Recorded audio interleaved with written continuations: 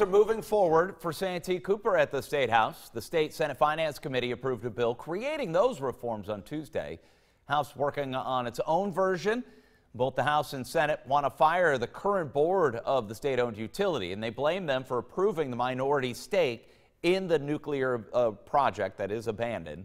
Santee Cooper is now $4 billion in debt uh, because of that failed project. They obviously have other debt as well, and you're still paying for that project every month.